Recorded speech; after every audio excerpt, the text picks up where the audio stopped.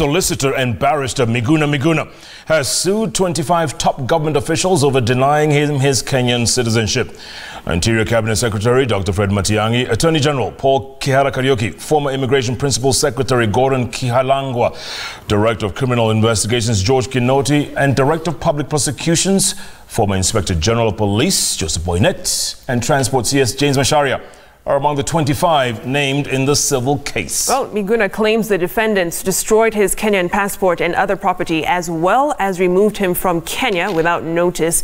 Miguna says that he was physically assaulted, abducted, and detained under cruel, inhumane, and degrading conditions for six days at the Githunguri police station, which breached his constitutional, legal, and human rights. Now, Miguna says their actions have hindered him from working, earning a living, and supporting his family and that the violations and breaches of his rights and freedoms have also denied him basic human dignity.